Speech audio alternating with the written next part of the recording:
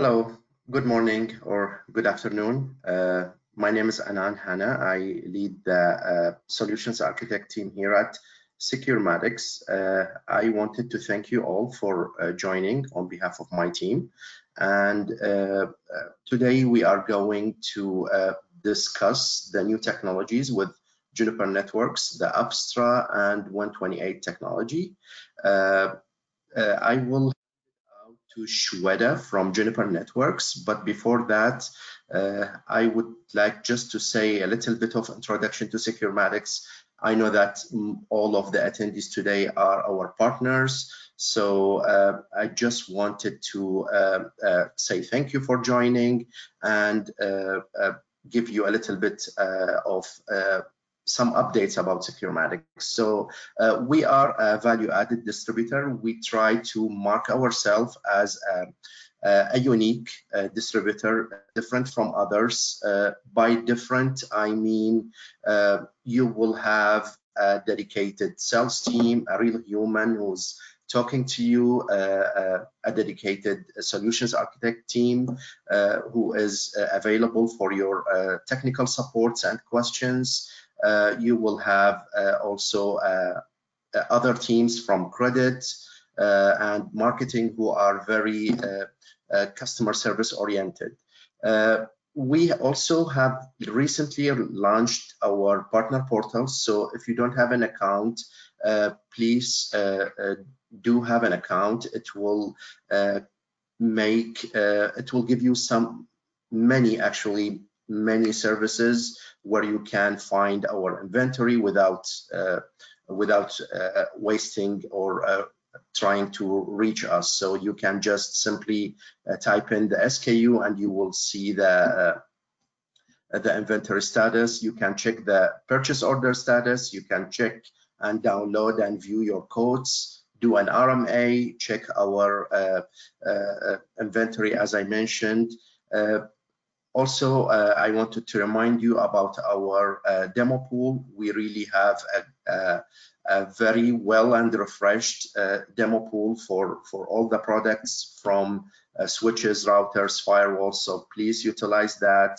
We are ready to ship it within one day. So uh, uh, please utilize all these services. I just, I think I'm good. I, I will just hand it out now to Shweta to uh, discuss the uh, technology with you. But before that, I uh, I don't want to forget mentioning our uh, great team here. This is the picture for uh, for our sales uh, team. I'm sure you are familiar with the faces and with our um, the whole management team. thank you, Shweta. The floor is yours. Thank you, Anand. Uh, good morning and good afternoon, everyone. Let me start by sharing my screen. Anand, can you see my screen? Can you please confirm? We can yeah. see it. I see it. Yes. Thank you. So today we are going to go over our newest acquisitions, that is Apstra and 128T. So without further ado, let's dive into what Apstra is first. So as you see here with Apstra, you might have heard the buzzword that is it is automated and intent-based networking. So what does that mean? What is intent-based networking? To, to, put it simply, a user will come in and define, hey, I want my data center to look like this. So I want like five spine devices, uh, 10 leaf devices, the cabling should be like this. So it the user will define the what of the network now Apstra will take all of those instructions and it will the software will convert the, all of those instructions into configurations. So that is now defining the how of the network. How it will do it it's all like uh, the problem the relate uh, problem related to Apstra so the user does not have to worry. It just needs to define its intent and then our telemetry services which provides like closed loop automation it will provide uh, the user with the when and why. So if something goes down or something doesn't matches to the user's intent the Apstra will let the user know, hey, this is the cable uh, which is not connected properly. This is the, not the port where it should be connected. It should be a different port. Or, hey, you said five spine devices, but only three have spun up. So the others two, I think there is some issue. So uh, this is the issue. Please go and redo it or go and please check it if it's proper or not. So the telemetry over here is continuously collected from the network and it is then compared to the user's intent. And if there are any deviations in the network, then the Apstra will provide the root cause identification. So it will not only just let the user know that, hey, this is the problem, it will let also let the user know like why this is the problem and this continuous validation it spans across all of the stages so uh, for the design build deploy and assure state all of these stages it does continuous validation. Now in terms of design we are vendor agnostic. So we Apstra works very well with Cisco, Arista, Sonic, Dell, and many other vendors over here and in fact you, the customer can deploy or an organization can deploy multiple fabrics uh, with the integration of, all of these vendors. And it simplifies actually the data center interconnect use case. So if there are like 10 uh, different data centers at different locations to interconnect them and to manage them Apstra does that job seamlessly. And we also Apstra also use automated EVPN VXLAN deployment. That is another term you might have heard, which we generally use with the data center. So that is the industry standard protocol which Apstra uses and Juniper has been using this EVPN VXLAN technology since a long time now. So now when building a new data center, Apstra uses a single source of truth over here and th this is uh, provided by Apstra with the help of a knowledge graph uh, which Apstra create by itself. So it uh, while creating a blueprint that is vendor specific or cabling map it uses this single source of truth with the help of knowledge graph and now with data center deployments, you might have heard that the zero touch provisioning is a must feature where like we just open up the boxes, we plug them in and they are configuring themselves. So there is no like network admins or working on it, doing uh, actually logging into the box and putting in the con configurations which are vendor specific. So we, it needs to have a zero touch provisioning feature and Apstra not only delivers that, but like similar to our Junos operating system, if you have worked on it or heard about it, Apstra also has the rollback configuration. Now, what does that mean? So if a user goes in and creates a blueprint and stages that blueprint, and now see, hey, this is not exactly what I wanted to do. So it can just roll back to the previous configuration, to the previous stage with just one single click and also for the upgrade or maintenance uh, we have a different maintenance mode uh, where the traffic for upgrading the devices or multi-tenancies it is used deployed using a different link or different path. So it does not interfere with the actual traffic and with our assurance stage, Apstra makes sure that it continuously validates the operational state of the network. So against the user's intent. So again, like checking that if whatever the intent that was defined, what of the network, it does go with the when and why of the network. So this closed loop automation pro, uh, process, it provides a huge deal of value for our customers because it helps to eliminate uh, the human error. It, it is not time consuming, it is flexible, scalable, it avoids any outages, and it provides a faster remediation if there is any issue. So this helps the IT team a lot. Moving on, the AOS is the Apstra operating system, and it uh, helps build a logical system and it can manage it within minutes. So you can have define your uh, underlay, your overlay, what the data center will look like. You can define the intent-based analytics, like uh, I talked about, like, hey, if my all the all, all of the five spine devices uh, switches are up or not, and you can send that intent to the telemetry tool, and it can uh, Apstra can work on the back end to make sure it is up in, uh, if the customer or an organization thinks like, hey, I want to scale my network right now, so I want to fit in more users over here. So it can scale anytime.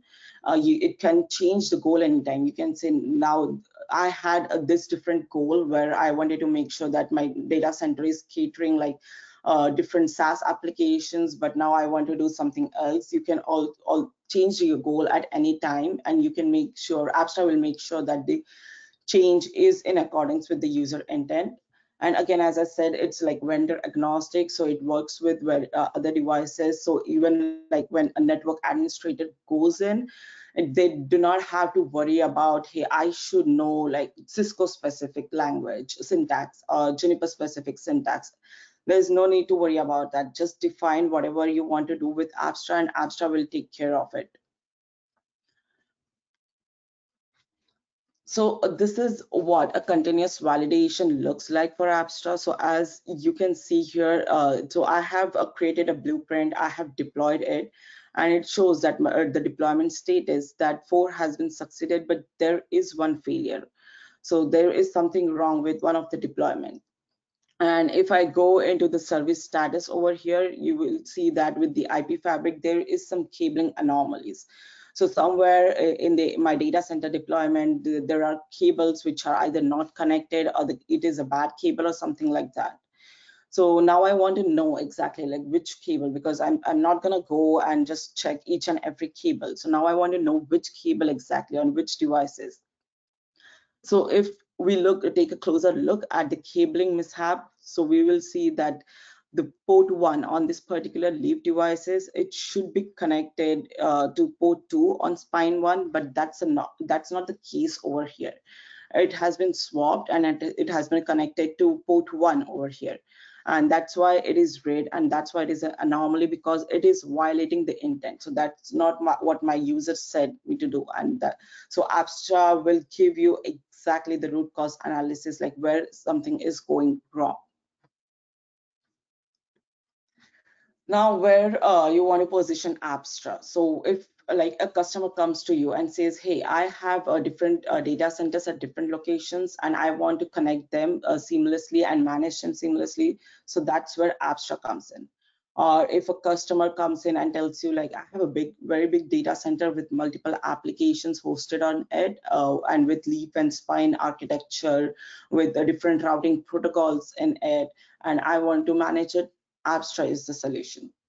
Mm, the third use case will be like, hey, I have again like different data centers with different vendors in it and I want to make sure that the vendors talk to each other uh, and there is no problem with the integration and when I remove or add any switch or I replace like a Cisco switch with Juniper switch I want to make sure there's no problem with it now again Apstra will help the, your customers with that so these are some of the uh, like customer pain points of which you need to look for. Uh, like, hey, there's it takes too many people to go in and configure a data center or to manage a data center. So we, we Apstra provides a simple automated way where it can take care of all of those problems for you or uh, if there is like a human error because the, obviously we can um, all make mistakes so a network administrator can go in and if it has they have to like configure hundreds of devices at a time, or even just like take the same configuration, copy paste it, they might miss some of the switch, they might miss some of the devices. And uh, to find out the exact error, where it is, in which data center, at which particular switch, it, it will take a lot of effort and a lot of time and it uh, Apstra saves all of that by using a single source of truth and using our intent based analytics or if like a customer comes in like hey there uh, for any of the deployments or if i do even a simple change in my data center it takes a lot of time to upgrade those changes on all of the devices.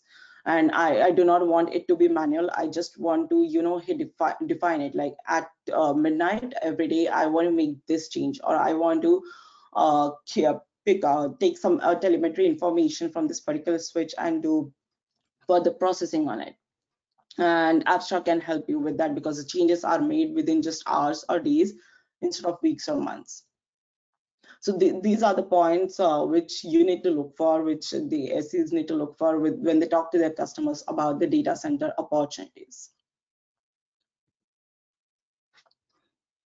Uh, any questions up until here?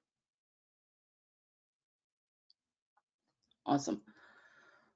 Uh, so uh, this is our uh, data center, Jun Juniper data center fabric architecture. And as I said, like we use industry standard EVPN VXLAN. That is a technology which is like most of the data center uses over here.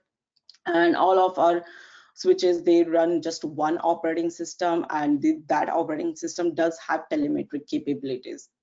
And now we have added Apstra Fabric Conductor on top of it, which helps with the intent-based networking and closed loop automation. So it actually these two, this combination is an extremely powerful for uh, as and it can act as a powerful management tool.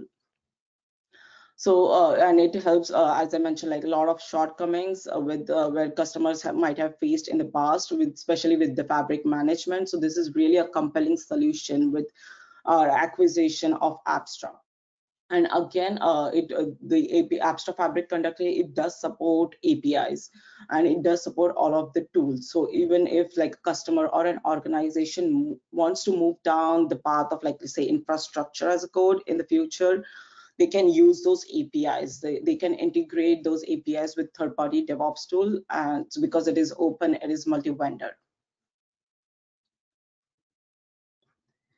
Now, let me talk about what Gartner and Forrester thinks about Apstra. So even before uh, the acquisition, like the uh, Apstra was, uh, we were in the magic quadrant of 2020 for data center networking and cloud networking as a leader. In fact, uh, the cool thing over here is like Gartner uh, described Apstra as a cool vendor in enterprise networking and up until then, before Apstra participated in it, Gartner did not have intent-based networking system category. But when Apstra was uh, came into the picture, came into the market, Gartner did introduce this category, and Apstra was considered uh, declared as a leader in it. And as you see, like some some of the uh, uh, statements over here by Gartner that it reduces the delivery time by 50 to 90 percent. It reduces the outages and everything. So all of this has been said by Gartner or Forrester about Apstra.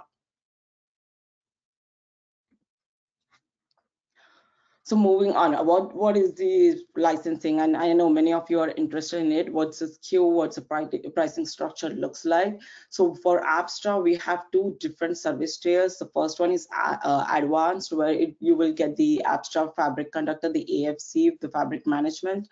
And with premium, we, you will get the fabric management along with the integrations. So if there's like VMware, vSphere, or there are dynamic BGP in, to the servers, so or uh, NSX-T, then then the premium feature will come into uh, play over here. And what does this mean that we have different uh, tiers of uh, classes for devices. So on the right, you see here, so these are all of the Juniper devices on which we do support Apstra today. And these devi uh, devices we have defined into different tiers, different class one, class one, class three, depending on their system like if it's a fixed system platform then it's a class one or uh, if there are others then class or class three. So depending on the uh, devices that the customer has and depending on the services that the customer needs from Apstra these are the different pricing structure queues over here. Any question on SKU and pricing? There aren't any questions yet Shweta. okay thanks bill and if you want to learn more about it, uh, we have our own Apstra Academy where you can go in and there are three different courses. Uh, those are actually long courses, but that will make you the Apstra automation architect and everything you need to know about Apstra is in those courses. So it will walk you through like what Apstra is, how it works, how it works for different deployments and uh, every use case. So it's all over there in those courses we also have our youtube playlist so if you just want uh, to see a particular quick uh, glance at a particular feature while uh, you're going into a meeting with the customer then we also have our own playlist on youtube Now, once you have all the theoretical knowledge, you want to test it out. You want to see how it exactly works because we are, it's like you you might feel that you have heard a lot about intent-based networking and analytics and closed loop automation, but I actually want to see what it gives out, what it actually, how it operates with other devices. So we have our own cloud-based lab environment. So you can go to vlabs.juniper.net. It's open for everyone and we have pre-built network topologies over here so it's uh, available on demand just reserve it for free and just play around with Apstra and it will show you like hey how Apstra would work especially works with Juniper QFX switches over here and there are the different use cases all the documentation is available you just need to go through documentation and deploy the similar use cases uh, in this lab environment also, if you go to uh, JPartner training, uh, the, if you have access to JPartner training, we have we did uh, Apstra sales enablement in the past. So they they are pre-recorded sessions. It's all available over there. So if you have login or if you don't have one, just uh, talk to Anand or myself or Bailey, and we can get you your logins, and you can just go into the JPartner training and access those resources too. Okay, so before we move on to our next acquisition, any any questions about SKU, pricing structure, licensing, anything else? I don't have any questions yet, um, but if anybody does have questions, you can submit them to the chat box or the question box. Awesome, thanks, Bailey. So moving on to our second acquisition is 128T, that is, we call it as a session smart routing. And we will get to know in a couple, uh, some time like why we call it session smart routing. So 128T right now is an SD-WAN solution. It's SD-WAN technology, and it's the only technology right now which does not require tunnels for SD-WAN. So that means this leads to huge savings in bandwidth and improved performance and big breakthrough economics. Uh, so we make uh, session smart routers, or you might hear the term SSR in the future. So these are the software routers that they basically operate on sessions, different sessions. And unlike uh, traditional routers or legacy VPN solutions that operate based on tunnels, we do not do tunnels or VPNs or anything. It's all just uh, based on session, talking to each other on session you can uh, actually have these routers uh, on x86 white boxes or you can have different deployments which i'll talk about. And this is our like a recent uh, acquisition which is by juniper. And we have now integrated this 128 technology with our mist ai that is uh, our uh, ai engine marvis and we have also integrated it with our WAN assurance capabilities and that's why it's right now it's like a superior sd-wan solution out in the market.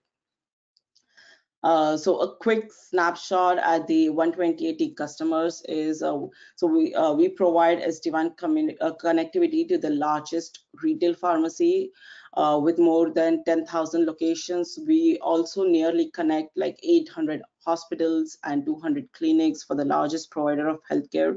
We're also in the automotive industry and we work in partnership with Microsoft uh, to pre uh, provide services to our US uh, Defense Department.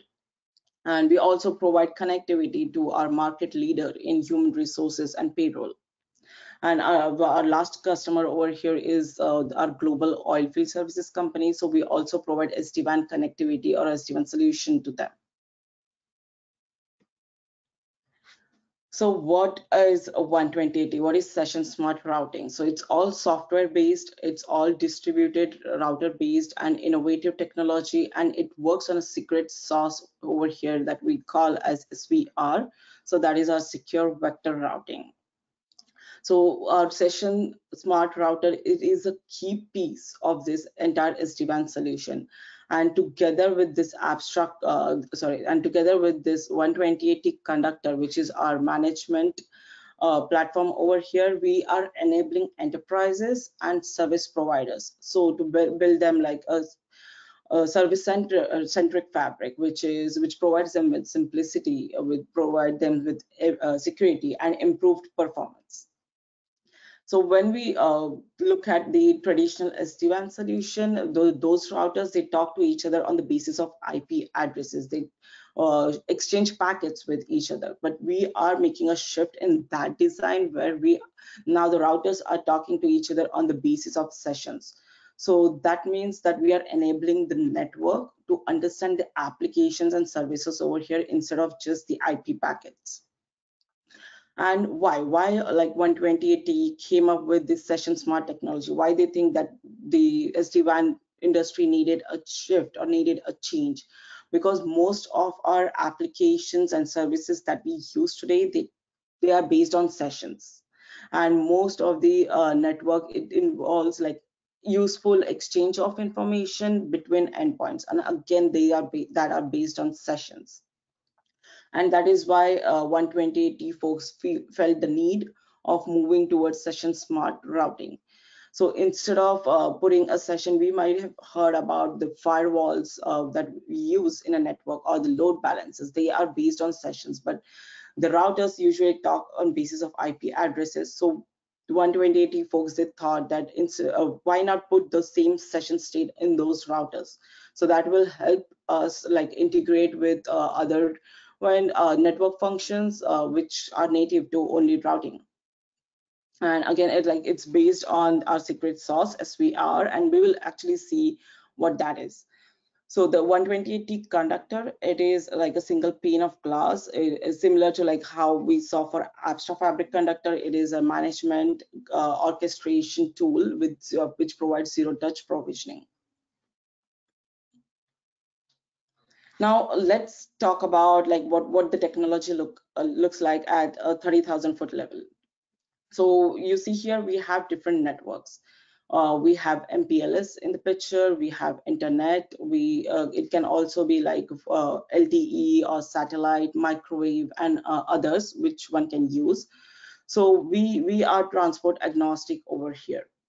And now we want to connect our private cloud, we want to connect our SaaS applications, public cloud. Uh, we also want like connectivity to the public internet. And now let's say a customer wants to uh, connect all of these small branches, large branches, home offices to an HQ or with all of these particular sites which I mentioned. Now, the simplest way to do here is to place these 128T routers in all of these different locations and to manage them with the help of the 128T conductor. So a conductor is our network orchestration tool that provides the orchestration services it does not participate in any of the routing decisions or uh, uh, data path decisions like which route or which path uh, the, this particular session should travel. It just lets uh, all of these routers know uh, what the policy is and it just lets all of these routers know what to do. This, this conductor can also get the stats from all of these routers and they, uh, and which can provide visibility uh, to, for, for all of these routers. So as I said, this router can be hosted in public cloud, private cloud. They can also be deployed on x86 white boxes. So these are x86 boxes are like low cost devices with just uh, with wired and wireless infrastructure. They're also available in uh, the marketplaces of all of the public clouds. So talk about AWS, Azure, GCP, Alibaba, and others. So if you want uh, everything to be on cloud, you can also move towards uh, the customers can or the organization can also move towards cloud or if uh, they can also be deployed on any appliance, virtual appliance like VMware, ESXi, KVM, or any other hypervisor. so now the sessions between these 128T routers are guided on based on services. So it's uh, this session uh, between two routers is like a two-way communication. So for example, say like I'm sending packets to YouTube and YouTube is sending packets to me. So now this is a valid conversation between YouTube and myself. But if YouTube directly starts like sending packets to me without me asking for it, then that's an attack. and we can learn all of uh, this information actually from this session directionality like how this session flows flow is. And uh, these are actually the inbuilt characteristics of a particular session over here. So as i said like unlike uh, traditional routers which talk to each other on the basis of ip addresses the 128t uh, routers since they are talking uh, they are session based they're actually connecting users or applications to the services different services. Now this helps to simplify the network because now the we can go in and define the services in a human language with uh, independent of location. So we can define it in simple terms in simple words uh, all of these services. And 128t will make sure that it is communicated across all of these routers. Sorry about that. Uh, these routers can also be like added modified uh, anytime at any stage in your network and it can uh, also recognize thousands of other applications. We saw that saas applications office 365 facebook gmail and it can help uh, to provide appropriate slas that has been defined that by that particular customer or network admin. It can make sure that it is providing that type of sla for that particular application So uh, the connection between these two routers, it uses secure vector routing. So that that uh, that is what I mentioned that it does not use any VPNs and tunnels, uh, but still these connections are encrypted and authenticated. So how does that do? Like you will say like, hey, we are not using any tunnel. So how can uh, we are making sure that the connection that the traffic is still encrypted? So what we are doing with 128T, we're actually uh, removing the, the, extra headers that are usually added when it is going through a tunnel which are, we are actually removing just that feature so making it sure uh, that we do not need all of these tunnels but still the traffic is encrypted and it is moving in a secure way. And this helps uh, to reduce the bandwidth by 30 to 50 percent. And this is not uh, what other sd-wan uh, technologies or other sd-wan vendors are doing out there in the market this uh, and each of these session the 128t sessions between these two routers it's a separate segment itself. So you can do virtualization dynamic slicing uh, network stretching and all of these features over here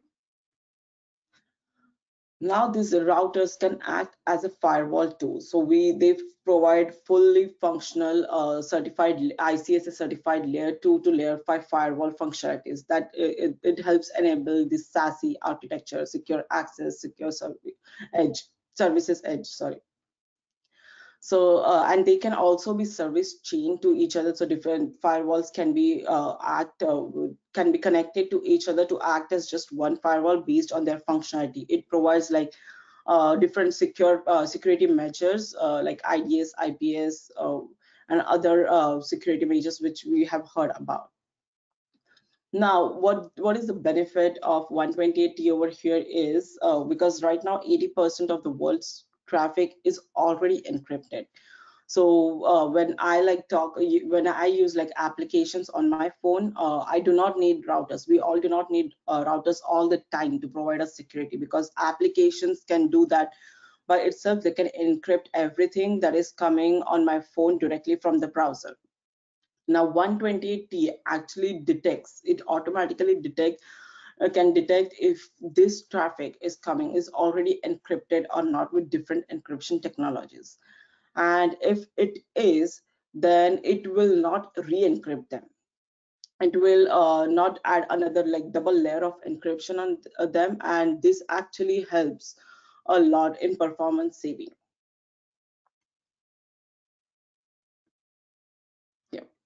so this actually helps uh, with different uh, performance uh, savings because now there is no uh, uh, another layer of added encryption in it.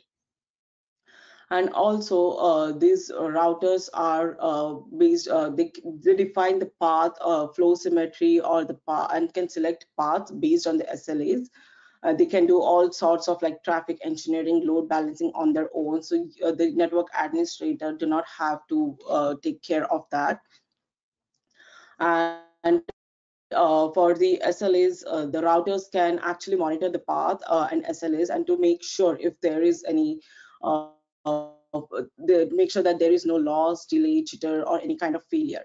And the failovers with 128T are instantaneous. So because we, we are not using any kind of tunnels or VPN technology or anything over here. So if even any session fails, the uh, the 128T can spun up another uh, session very quickly because there is no need of backing of, of tunnels or like setting up a tunnel, nothing like that. So we call this as a zero loss delivery because there is no loss or uh, even if uh, there is a failover over uh, in this architecture. And finally, we use the conductor uh, for zero touch provisioning, planning, automation, and management and all this conductor and the CLI, it's all again the rest uh, based on APIs. So the uh, uh, administrators or the operators can use uh, other third-party DevOps tools to make sure that it's work it's working perfectly and can automate itself. So I, I talked a lot about 128T for, from the last slide. So any questions on anything uh, which you think that I need to simplify over here? Shweta, we did have one question come through. Um, someone asked, does Apstra integrate with 128T? No, right now uh, they are uh, working as two separate entities. There is no integration between Apstra and 128T, but we have uh, integrated, uh, we have integration of 128T with our WAN assurance. So you might have heard that we came out with our Mist WAN assurance uh, which provides like uh, which gives you again the service level uh, expectation similar to wired assurance and we are improving on it. So we have uh, added the integration but now 128T routers will also give you the WAN assurance capabilities. But no there is no integration between Apstra and 128T okay. Thank you. Mm -hmm. Yeah, so uh, these are again the same feature which I talked about. Uh, so I'm I'm not gonna go with uh, them. So I, I said that it it will help the, because of there's no tunneling VPN. It helps re, uh, reduce the bandwidth performance, and all of the routers they can act as a firewall also. So it's like we we use the zero trust policy where everything is denied by default. So uh, if anything uh, the user wants to allow any traffic, they need to specify a policy and they can be as particular as they want with that policy. And then only the routers will pass through the traffic. And again, with a conductor, we they can have the session visibility, the application insights, and that kind of granularity for their network, the SD-WAN network. So now let's talk about network uh, platform licensing, how it works. So our routers, they are based on different tiers of bandwidth throughput. So depending on the requirement uh, for a particular SD-WAN networks, we have uh, different tiers of routers. We do not have a, different uh, licenses for different features. It's just one all built in one license. So it's nothing like, hey, I want uh, network virtualization, I, or I want just secure vector routing nothing like that all comes uh, like one package and the conductor the, that I talked about, the 128T conductor, it is actually included uh, in uh, in that package in that uh, SKU. And we have same licensing feature whether they uh, decided to go with the routers that are hosted on-prem or they are uh, hosted on the public clouds. Still, it's the same licensing across uh, all of the deployments. And similar to Juniper Flex licensing term, we have a software subscription based licensing even for 128T. So it's like one, three, or five year term license. And uh, again, the software maintenance, it is included in the subscription. So uh, we will see how this SKU looks like, what it means exactly, and you will get a clear understanding of what I talked about on this one.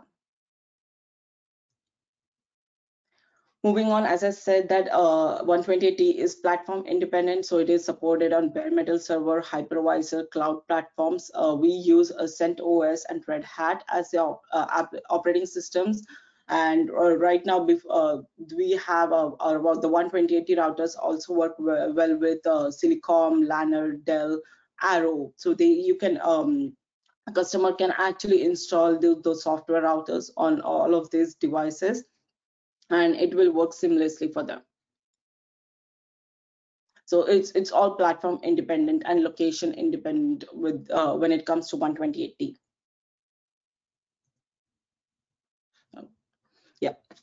So this is what a SKU will look like. So if you see here, uh, like as I said, that uh, all of the routers have different tiers for bandwidth. So depending on the requirement, uh, if suppose like a uh, suppose say a customer has a requirement of 10 Mbps, and uh, now they will uh, look at and they want the subscription for three years then this is the SKU that would work really well for them. This is the SKU that would work really well for them. So uh, yeah it's it's all depending on the uh, bandwidth and it's all depend on the how many uh, years of subscription the customer needs or organization needs. So it's as simple as that nothing beyond this so there's nothing like hey for our 120t conductor there's a separate one now there's a uh, for software service, there's a separate SKU, nothing like that, just this one SKU. That's it.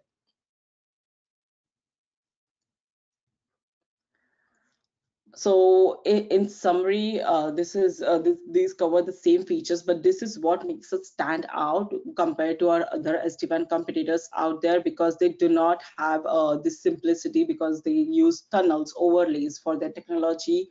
They do, uh, do not have a zero trust security model and at the same time they provide the authentication and encryption without adding additional uh, overhead on that uh, traffic so because there's no additional overhead the performance is great uh, the scalability is great and there is savings with bandwidth and uh, operational costs with 128t and uh, if you want to learn more about 128t we have this enablement tool of 128T. So you can just click on it. You can find different sandbox networking.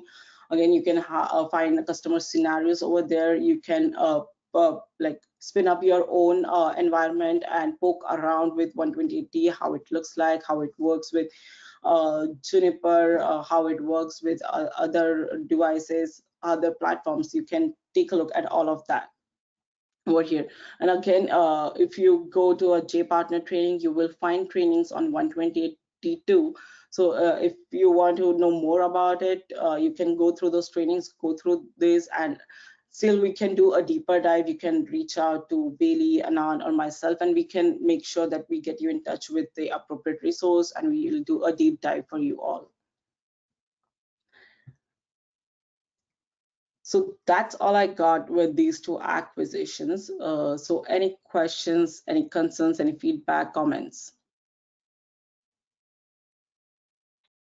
Yeah, we do have one question. Um, is WAN assurance just for 128T or SRX also? So when we release the WAN assurance, it, uh, it is for SRX. It is still for SRX. So even if uh, the customer has SRXs uh, in, the, uh, in their deployment, they can use WAN assurance feature. But now with 128T, we have also integrated the 128T uh, routers with the WAN assurance. So it is both. It's not like with this acquisition, we are removing the SRXs from the WAN assurance. Okay, thank you. Um, will you be able to manage the SRX at some point? Yes, I mean that's a plan. Uh, that's uh, the uh, on the roadmap. I'm not uh, sure there is no like a target date for it, but that's the plan to ultimately uh, go ahead and also add SRXs to this 120T platform. So they are also managing the uh, along with the 128T routers. They're also managing our SRX product line.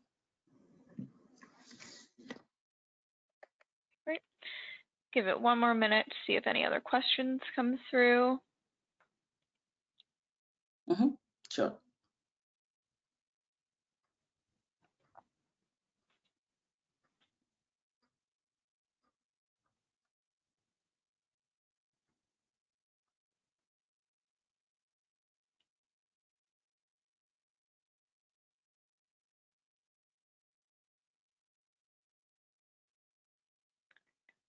Okay, looks like that's all the questions for today. So thank you, um, Shweta, for your time. Mm-hmm. And thank you, everybody, for attending. Yes, and uh, if you have any questions further, just uh, shoot an email to Anand or myself, and we will answer those for you. And yep, thank you all absolutely. for your time today. Thanks, Shweta. All right, have a great week. Uh, Thank you, Billy. Thanks everyone for joining and uh, looking forward to uh, hear from you. Thank you.